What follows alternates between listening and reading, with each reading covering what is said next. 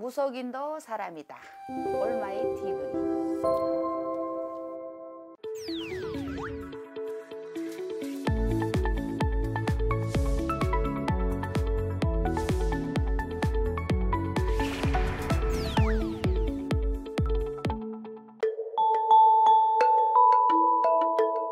어리니까 아무래도 또 뭐 어린 나이에는 그렇죠. 뭐 먹고 놀고 어, 유흥으로 그런 것만 좀 조심하시면 그러다 보면은 뭐 알바해서 술로 다 없애버리고 또 남녀간에죠 문제겠죠? 그런 걸로 인해서 금전으로 인해서 많이 힘들어할 수도 있으니까 그런 것만 조, 조심하시면 되겠고 33살 용띠 어, 사기를 조심하셔야 돼요.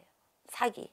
음, 남녀간에 이런 다툼 구설 이런 것도 좀 조심해야 되고. 왜냐하면 이, 이 용띠의 경자년에는 이성 간의 문제가 제일 커요. 어떻게 보면 그게 근데 용띠들이 보면은 이 차분하지를 못해요. 잘 나가는 것 같지만 자꾸 변화를 줘요. 그것만 좀 자중을 하고 이 경자년에 간다 하면은 좀 괜찮아요. 근데 그 33살 용띠 같은 경우에도 내년에 그런 것들을 좀 조심하시고 깜짝 놀랄 일이 있을 거예요. 아마 운전을 하고 가다가 내가 깜짝 놀라든지 그래서 멍 때린다든지 이런 거는 하면 안 돼요.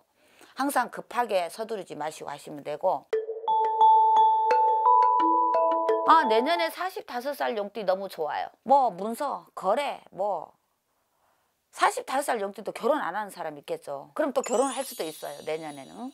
음, 그런 것들도 괜찮고. 56살 어떤 분들이 얘기하는 거 50 이 용띠가 내년에 돈으로 대박나는 애라고도 해요. 근데 그런데 너무 치우치지 마시고 사람의 노력도 필요한 거예요. 57살 용띠는 잘못해가 기가 얇아고 쑥쑥쑥 넘어가다 보면 은 내가 금전에 손실이 오고 인간관계에 내가 인간관계도 어떤 사람한테 내가 조심을 하냐. 제일 가까이 친한 사람. 멀리서가 아니고 내가 나를 제일 그동안에 도와준다 하고 뭐 어, 너밖에 없다 하고 막 이런 사람들 있잖아요. 입 바른 소리 잘하는 사람들. 이런 사람들한테 내가 당할 수예요. 갑진생에 올해 용띠 갑자가 들어가는 사람들은 올해 안 좋아요. 왜 그러냐면은 금이 목을 치는 형국이에요.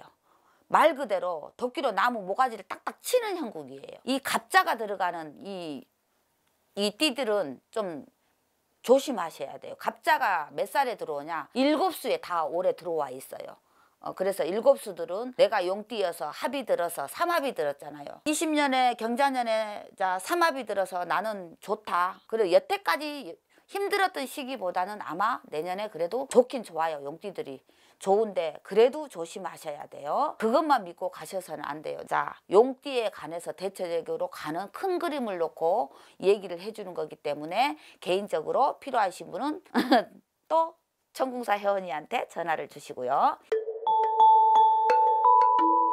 생각이 너무 많으세요. 69살 이분들은 내년에 이제 또 건강도 조심하셔야 되고 아홉 수에 드셨잖아요. 아홉 수 또 애군액살이 뻗쳐 있는 해잖아요. 남 돈 빌려주지 말고 사기당하는 거 조심하시고 건강 이런 것만 좀 조심하시면 그나마 하는 일은 그냥 이렇게 무던하게 변화 주지 마시고 그대로 이렇게 생각을 신중하게 하셔서 그냥 변화 주지 마시고 그대로 가시면은 어, 괜찮겠어요. 네, 또 궁금하신 거는 전화 주세요. 용띠들 그동안에 좀 많이 힘들었을 거예요 아마 대체적으로 용띠들은 근데 이제 어, 신자진 올해 경자년이니까 합이 들었다고 해요. 그래서 그나마 용띠들이 올해 좋다고 봐요. 그런데 좋다고는 보지만은 다 용띠들의 또 특성상 내가 그걸 버리고 가는 사람들도 많단 말이에요. 우리 제부가 이제 경자년으로 가면 57 용띠인데 아 처형 언제 나는 좀 괜찮아지냐고 맨날 물어봐요. 근데 잘 얘기를 제가 안 해주죠